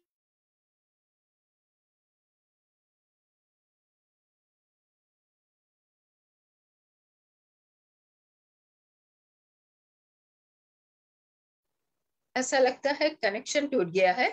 जी जी। कनेक्शन नहीं टूटता तो शायद आराधना जी अभी और काफ़ी देर तक कहती है उनको जरा बता दीजिए कि दस मिनट ही समय रह गया। दस हाँ। दस मिनट में आपको अपनी बात समेटनी है और और कई लोग जुड़े हुए हैं शायद आपसे कुछ सवाल भी पूछना चाहे। हाँ तो वो पूछ रहे अभी पूछेंगे सवाल? हाँ तो ठीक है। तो तो अगर हमारे साथ अनिल मिश्रा जी हैं उन्नाव से खुद एक किसान है राजीव यादव जी हैं आजमगढ़ से प्रवीण श्रीवास्तव जी हैं नीलम है और और भी एक आध लोग जुड़े हुए हैं। आप में से कोई भी अगर कोई सवाल पूछना चाहे आराधना जी से तो ये देखिए, किसान आंदोलन की पुरानी नेता है और इसीलिए इन्होंने नेता की शैली में पूरा भाषण दे डाला। अब जो है, सारी बातें, नहीं नहीं नहीं, मैं आपकी तारीफ़ कर रहा हूँ। आपने सारे मुद्दों को बहुत अच्छे तरह से कवर किया है। एक भी बात मुझे लगता है छोड़ी नहीं, आपने तीन किसान विरोधी कानूनों के अलावा पराली वाला कानून और और बिजली वाले कानून पे भी बात रखी, जिसकी बात लोग नहीं करते। तो आपने समग्रता में पूरी बात रखी और आपने कुछ विकल्प भी सुझाए तो बहुत ही अच्छा रहा। तो कोई भी साथी सवाल पूछना चाहे तो अब जी सर, मैं एक सवाल पूछना चाहता हूँ। जैसा इन्होंने अभी बताया कि कोऑपरेटिव सोसाइटीज बना करके शायद वो रन भी कर रही हैं, जो डायरेक्ट किसानों से जो है उनके उत्पाद खरीद करके शहरों में बेचे तो मैं मतलब एक बिज़नेस पॉइंट से कितना सफल रहा ये कॉपरेटिव सोसाइटी वाला जो योग है, ये जानना चाहता हूँ।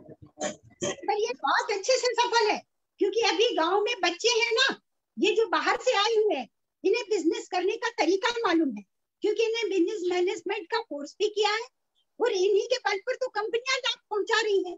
तो वो बहुत अच्छे से इस चीज़ को करने के इच्छुक भी है और करना भी जानते हैं और सफलताएँ भी इसमें इस तरीके से मिल रही है। हमने एक तारीख को इस संबंध में जो किसान महापंचायत रखी है, उसमें हमने ऐसे टीम के लड़कों को भी रखा है जो अपनी सफलता लोगों के बीच में बताएँगे। साथियों, मछली का काम भी कर रहे हैं। इसलिए कर रहे हैं कि हमारे पास माचाबोरा डैम है। जिस डैम का पानी इन्होंने अदानी को बेचने का काम किया। मैंने अपनी कोई बात नहीं बताई। अदानी मतलब बाँध बनाया किसानों के नाम पर किसानों को पानी देंगे पर वो पानी बेच दिया अदानी को। बाँध बनने के पहले मैंने कहा बनाया किसानों के लिए है। उनको आप देने का काम नहीं कर रहे हो पर अदानी को बेच दिया। तो वो जो मछली पैदा हो रही है वो मछलियों के लिए हमने कोऑपरेटिव सोसाइटी बनाई है। उसमें भी सुप्रीम कोर्ट का जो जजमेंट है सुप्रीम कोर्ट के फुल बेंच ने जजमेंट दिया कि मछली हम्म। का जो जो भी ए, क्या कहने चाहिए पारंपरिक बिज़नेस जो रहते हैं पारंपरिक व्यवसाय रहता है इसको पैसों से नहीं बेचा जा सकता पर यहाँ पर वही किया कांग्रेस ने कि बीस लाख बीस हज़ार पच्चीस हज़ार किसानों को दे दिए और उनके व्यापार को खरीदने का काम किया। तो ये जो कोऑपरेटिव सोसाइटी की हमने मछलियों की बनाई है, हम देख रहे हैं कि हमारे किसान इस काम को बखूबी बहुत अच्छे तरीके से कर रहे हैं। अब ये किसान आंदोलन, ये किसान आंदोलन तक सीमित नहीं रहेगा। ये देश के समग्र चीज़ों के लिए साथियों आएगा कि जमीनें गई हमारी, पानी गया हमारा। मछली हम पाल कर अपना व्यवसाय करते थे। अट्ठाईस हज़ार यहाँ पर मछ, मछुआरे हैं पर मछली का ठेका पड़ोस के व्यक्ति को दे दिया क्योंकि वो मछली के ठेकेदार ने मंत्री जी को ज़्यादा पैसा देने का काम किया तो वो बात भी लोगों को समझ में आ रही है कि सुप्रीम कोर्ट के फैसले को एक तरफ़ कर दोगे हमारे हम्म, अधिकारों हम्म। को एक तरफ़ कर दोगे सिर्फ़ पैसे के पीछे पूरा देश भाग रहा है तो ये बात नौजवानों को समझ में आ रही है और ये कोऑपरेटिव वाला मामला साथियों बहुत अच्छा है हमने तो महिलाओं को देखा लिज्जत पापड़ का पाँच महिलाओं ने लिज्जत पापड़ के काम को शुरू किया था। और वो इतना बोनस बांटते हैं कि हमारी सरकार, मध्य प्रदेश की सरकार उसके बराबर तनख्वाह तक नहीं बांट पाती है। तो वो महिलाएँ आज भी लिज्जत पापड़ चल रहा है। अब तो वो विदेश तक में लिज्जत पापड़ चल रहा है। हम अमूल को देखें, ये भी कोऑपरेटिव सेक्टर से ही चल रहा है। तो अमूल ने भी सब कुछ बनाना शुरू किया। हम क्यों नहीं बना सकते? हम अपने बच्चों को उनके पास भी प्रशिक्षण के लिए भेज सकते हैं। तो इस तरीके का एक ये बहुत सफल तरीके का है। और बहुत अच्छे से हम घर पहुँच में ये काम कर सकते हैं क्योंकि हमारे जो बच्चे हैं ये आईडी भी जनरेट कर सकते हैं ये ऑनलाइन मार्केट का काम भी कर, हमारे बच्चे तो कर रहे हैं तो सब्ज़ियाँ भी बेचेंगे सब कुछ बेचेंगे और बहुत अच्छे से करेंगे पर हमको विकल्प तो देना पड़ेगा हम अदानी और अंबानी ऐसा कर रहे ऐसा कर रहे करने से काम नहीं चलेगा पर हम बहुत अच्छे से इस काम को करने में सफल हो रहे हैं साथियों। और कोई साथी और कोई साथी सवाल करना चाहेंगे? uh, मैं अनुराधा जी एक बात पूछना चाहूँगी आराधना मेरे नाम याद रखने के तीन तरीके। अगर गाने सुनने का शौक है तो किशोर कुमार के गाने जिस पिक्चर से उठे हुए वो आराधना। पिक्चर देखने का शौक है तो किशोर राजेश खन्ना शर्मिला टैगोर की आराधना। और अगर भगवान में आता है तो ईश्वर के निकट यातना याचना आराधना। अब आराधना आप नहीं भूलेंगे जी मैं ये सोच पूछ रही थी कि आपको क्या लगता है कि इतना किसानों का आंदोलन ज़ोर पे चल रहा है क्या हम्म। ये आंदोलन ये तीन कानून वापस लिए जाएँगे? आपको क्या लगता है? बिल्कुल लिए जाएँगे। सरकार इतनी डरी हुई है। आप अगर नहीं तो वो फिर क्या कह रहे हैं संशोधन की बात भैया? संशोधन की बात अगर उनको तो समझ में आ रहा है बहुत डरी और सहमी हुई है सरकार। सरकार को सब समझ में आ रहा है। और सरकार में बैठे हुए इन लोगों के जो लोग हैं ना ये गलती क्या कर रहे हैं? ये गलती ये कर रहे हैं कि ये जो मीडिया के माध्यम से लोगों को नहीं बता रहे तो ये मीडिया उनको गुमराह कर रहा है। किसान गुमराह नहीं हो रहा देश गुमराह नहीं हो रहा देश का नेता गुमराह हो रहा है। और इसी के कारण वो गच्चा खाएँगे और वो नुकसान में जाएँगे। और किसान अपनी इस लड़ाई को जीतेगा? और ये किसान की लड़ाई नहीं ये देश की दूसरी आज़ादी की लड़ाई है जिसमें सही मायने में लोग आज़ाद होंगे इस मांग को रखने का काम करेंगे। जी। धन्यवाद। कोई और साथी है जो सवाल करना चाहे? हम लोग को एकदम आठ बजे ऐसा रो, रोकना कोई ज़रूरी नहीं है। हम पाँच दस पंद्रह मिनट ऊपर भी जा सकते हैं। ठीक है। जी जी जी।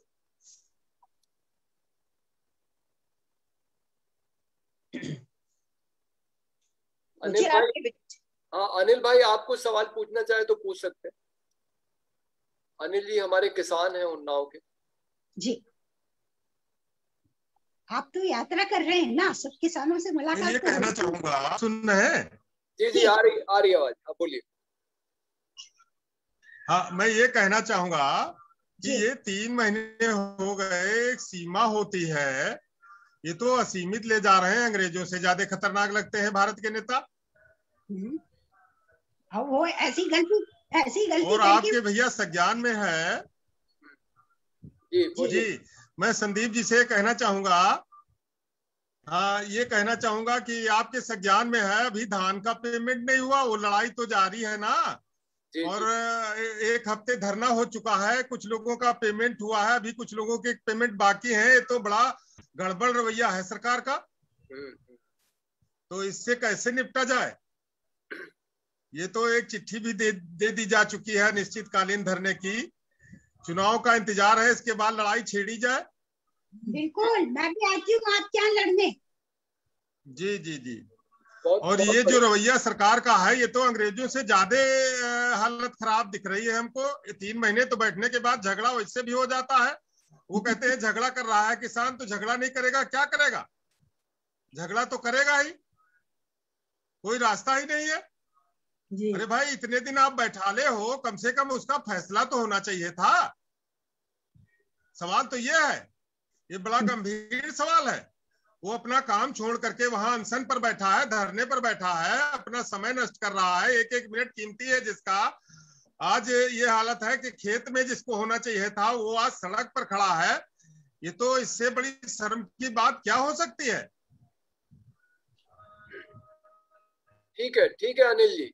आ, मैं आराधना जी को बता दूँ कि अनिल जी जिस बात का ज़िक्र कर रहे हैं उन्नाव ज़िले में सौ किसानों का धान यानी कि जो पिछले पिछले सत्र में जो जो जो धान पैदा हुआ, उसको एक मिल ने खरीदा।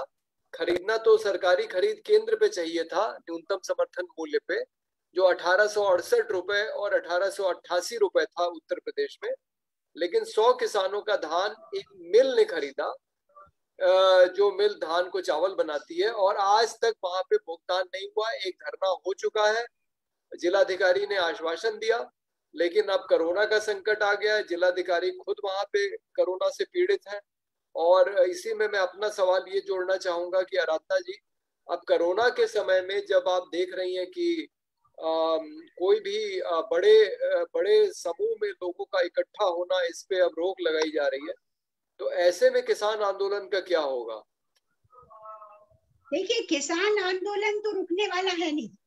ये तो मतलब मरता क्या ना करता की स्थिति में पहुँच रहा है। जैसे आप यहाँ पर बता रहे हैं, मेरे यहाँ पर मैं बता रही हूँ, कहाँ पर रखेगा? अब तो उसके पास अगली फ़सल के लिए पैसा नहीं रहेगा। अगली फ़सल वो बोएगा कहाँ से? बैंक ने उसको डिफाल्टर कर दिया, सोसाइटी ने उसको डिफाल्टर कर दिया। लड़ने के अलावा उसके पास कोई विकल्प बचने वाला नहीं है। तो हम लोग तो जितनी सावधानी बरतने का काम करेंगे, जो हमारे धरना स्थल पर बैठे साथी हैं, वो इंजेक्शन भी लगवाएँगे हॉस्पिटल भी बनाएँगे। अभी तो मैं देखी आप भी तो थे। सिंधु बॉर्डर पर मैंने जो हॉस्पिटल देखा, लाजवाब हॉस्पिटल इतना शानदार हॉस्पिटल साहब, एक पैसा नहीं लग रहा। वो बराबर पूरी सुविधाएँ वहाँ पर उपलब्ध है। सरकार को तो जाकर सीखना चाहिए कि किस तरीके से आप देश को चलाएँ। ना इनके पास ऑक्सीजन है, ना इनके पास वैक्सीन है, ना इनके पास किसी प्रकार की सुविधा है। ना हॉस्पिटल है, ना बिल्डिंग है, ना डॉक्टर है, ना नर्स है। पर वहाँ पर आप जाकर देखिए कि मुफ़्त में इलाज की सारी सुविधाएँ हैं तो हम सारी सुविधाएँ उपलब्ध कराने का काम करेंगे और पूरी तरीके से, सुरक्षित तरीके से अपने आंदोलन को भी चलाएँगे और अपने किसान को भी, साथियों, हम बचाने का काम करेंगे और हम अपने स्तर पर भी इस काम को करने का काम करेंगे। तो ये जो हमारे तीर्थ स्थल है ये तो किसानों के तीर्थ स्थल है, जहाँ पर सब कुछ सीखने लायक है, जहाँ पर भ्रष्टाचार दूर दूर तक नहीं है। हम जैसा समाज चाहते हैं, महिलाएँ जैसा समाज चाहती हैं, मैं वहाँ पर दो बजे रात में निकल गई, कोई भय नहीं था। पूरी तरह से सुरक्षा थी। यहाँ पर इतना नियम, इतना कानून, इतना पुलिस, इतनी अदालत, उसके पास बेटियों को नहीं बचा पा रहे हो। उस आंदोलन स्थल पर देखिए, किस तरीके से सुरक्षित बेटियाँ हैं। तो हम ऐसी चीज़ को खुद भी हमारी ज़िम्मेदारी है कि हम अपने आंदोलन को सुरक्षित रखेंगे और सरकार को ये बताएँगे कि तुम्हें चलाना नहीं आता, प्रशासनिक क्षमता तुम्हारे अंदर नहीं है। हमारे आंदोलन स्थल पर आकर देखिए कि किस तरीके से भाईचारे के साथ सुरक्षित होकर हम रह रहे हैं। और आज की तारीख में तो मैं कहूँगी, ये भगवान की कृपा है कि जितने भी हमारे धरने के स्थल है वहाँ पर एक भी आदमी कोरोना का पेशेंट नहीं है। ये इससे बड़ी बात क्या हो सकती है? क्योंकि मेहनत कश लोग हैं, जो पसीना बहाते हैं, उन्हें कोरोना अरोना से कोई डरा नहीं सकता। तो नरेंद्र मोदी जी, आपके डराने से कोई डरने वाला नहीं है और आंदोलन तो और विकट रूप में आएगा। ये तो आंदोलन तो ये तो किसानों की सुनामी की तरह सरकार इसको संभालने में पूर्णतः असमर्थ है। सरकार ने कौन सी चीज़ संभाली है? तो जो इस आंदोलन को संभाल लेगी वो तो उनकी गलत फहमी है कि जिस तरीके ने उन्हें एनआरसी के आंदोलन को खत्म करने की कोशिश कर ली थी पर इसमें उन्हें सफलता मिलने वाली नहीं है। और वो भी इस बात को अच्छे तरीके से समझ रहे हैं कि इस आंदोलन को हम लोग आप देख रहे हैं ना? सुप्रीम कोर्ट की भी तेरी नहीं पड़ रही सुप्रीम कोर्ट को भी तो समझ में आ रहा है कि न्यायपालिका को तो तुमने यहाँ से साफ़ करने का काम कर दिया। आप तो खुद ही चाह रहे हो कि न्यायपालिका में ताले डल जाए। सबसे ज़्यादा मुकदमे यही आने वाले और वही मुकदमों की सुनवाई न्यायालय में नहीं होने वाली। तो न्यायाधीश को और वकीलों को भी तो सोचना पड़ेगा कि भैया, ये तो हमारे ही सफाया करने का काम कर रहे हैं। तो न्यायपालिका भी खुल के इनका साथ दे नहीं रही है, साथियों। ये बात भी हमको, ये हमारे लिए बहुत बड़ी हिम्मत की बात है हाँ। यदि किसी और साथी का कोई सवाल ना हो तो आराधना जी आप कुछ और किसी विषय पे बोलना चाहेंगे कि या हम इसको आज का हम समापन करें? आप करें फिर आप कभी और बुलाएँगी तो मैं आ जाऊँगी आप मुझे विषय बता देंगे मैं बोल दूँगी। आपकी बातचीत सुन के बहुत सारी चीज़ें पता चली। और सबसे बड़ी बात है कि हम सब लोग आंदोलन की बात करते हैं। आपने इस चर्चा में विकल्प की भी बात करी जिसको सबको साथियों को जानना बहुत ज़रूरी है। आपका बहुत बहुत धन्यवाद। और बाकी सभी साथियों का बहुत बहुत धन्यवाद। मुझे आपका बात सुन करके बहुत अच्छा लगा। फिर आपसे चर्चा होगी दोबारा। इसमें मैं मैं एक चलते चलते एक बात कह जो आराधना जी जो विकल्प की बात कह रही थी उसमें एक और नया मॉडल निकल रहा है अमेरिका के अंदर। आ, जो मैंने आ, मुझे तो आ, गए भी अभी काफ़ी दिन हो गए लेकिन अपनी पिछली कुछ यात्राओं में मैंने ये देखा कि अमेरिका में एक नए तरह का मॉडल ये निकल रहा है कि जो शहर के लोग हैं, वो गाँव के किसानों से सीधे जुड़ रहे हैं। और वो जाते हैं, वो वो किसान के साथ उनका एक अनुबंध हो जाता है और वो किसान को एक एक निश्चित रकम पूरे साल की देते हैं। वो पहले से तय हो जाता है कितनी रकम दी जाएगी। उसमें ये तय नहीं होता कि उनको क्या मिलेगा। वो हर एक हफ़्ते उस खेत पे जाते हैं और जो भी उस सप्ताह में जो उस खेत में निकलता है, वो बराबर बराबर बांट लिया जाता है। मान लीजिए दस परिवार एक खेत के साथ, एक किसान के साथ जुड़े हुए हैं तो वो दस परिवार हफ़्ते में एक दिन जाते हैं और जो भी खेत से निकलता है, उसको वो बांट लेते हैं। इसके बदले में किसान की एक निश्चित आय जो है, होती है और इसमें इन परिवारों में कई ऐसे भी परिवार हैं, जो जाके अपना खाली समय खेत पे देते भी हैं। मतलब अपना एक एक वहाँ पे श्रम का दान देते हैं, श्रम दान करते हैं और किसान के साथ काम भी करते हैं, क्योंकि आराधना जी ने भी बताया कि वो अपने खेत पे मजदूरों के साथ काम करती हैं। तो ये एक बहुत अच्छा मॉडल है जो अमेरिका में उभर रहा है। हालाँकि ये कितने बड़े पैमाने पे किया जा सकता है, ये मुझे नहीं मालूम, लेकिन लोग नए नए मॉडल के बारे में सोच रहे हैं, जैसे आराधना जी ने बताया। और सुचिता जी के भी ये रुचि का विषय है, वो भी गाँव क्षेत्र के नौजवानों को नव युवतियों को प्रशिक्षित करके रोज़गार दिलाने का काम करती रहती हैं। तो इस पे हम लोग को सोचना चाहिए और इस पे और थोड़ा विचार विमर्श होना चाहिए कि किस तरह के पूंजीवादी व्यवस्था के किस तरह के हम मॉडल बना सकते हैं। जैसे आराधना जी ने कहा कि इस समय जो बॉर्डर पे आंदोलन चल रहा है, उसमें आपको बहुत अच्छा एक समाजवादी मॉडल दिखाई पड़ेगा। जहाँ पे कि खाना है चिकित्सा है शिक्षा है आ, सब कुछ मुफ़्त है। और बड़ी उम्दा गुणवत्ता का और उसमें एक एक कुछ चीज़ें मैं और जोड़ दूँ जैसे वहाँ पे धरना स्थल पे जो वाहन चल रहे हैं उसमें कोई ट्रैफ़िक पुलिस नहीं है उसके बावजूद कोई जाम नहीं लग रहा है। तो एक एक बहुत बेहतर व्यवस्था वहाँ पे किसानों ने बनाई हुई है। तो इस तरह के जो मॉडल है उस पर और बात होनी चाहिए। और ये मॉडल हम ए, किस तरह से समाज में किस स्तर पे लागू कर सकते हैं? क्योंकि अंततः तो ये बात सही है कि आप अडानी अंबानी को आप कब तक कोसेंगे? आपको अपना मॉडल तो खड़ा करना ही पड़ेगा। और पूंजीवाद का मॉडल का विकल्प क्या हो इस पे बहुत सारे प्रयोग हुए हैं बहुत सारा चिंतन हुआ है। ज़रूरत है कि उन उन पे बात हो और उनको व्यवहार में लाया जाए, जिस तरह से दिल्ली में किसानों ने करके दिखाया है। ये किसान आंदोलन की बहुत बड़ी सफलता है। कल पीएम लता भी ये बोल रही थी कि उनके 30-40 साल के आंदोलन के के अनुभव में उन्होंने इस तरह का आंदोलन नहीं देखा, जहाँ पे कि प्रयास ये होता है कि कोई भी भूखा ना रहे, सबको खाना मिले और आंदोलन लोगों को खाना खिलाने का काम कर रहा है। बाकी आंदोलन होते हैं तो चंदा चंदा जुटा के खाने की व्यवस्था की जाती है। लेकिन यहाँ पे आंदोलनकारी खुद खाना बना के लोगों को खिला रहे हैं। ये एक बहुत अच्छा मॉडल है और इस पे और आगे बात होनी चाहिए। धन्यवाद। धन्यवाद। और इसी के साथ हम आज की चर्चा समाप्त करते हैं। आप सभी का बहुत बहुत धन्यवाद।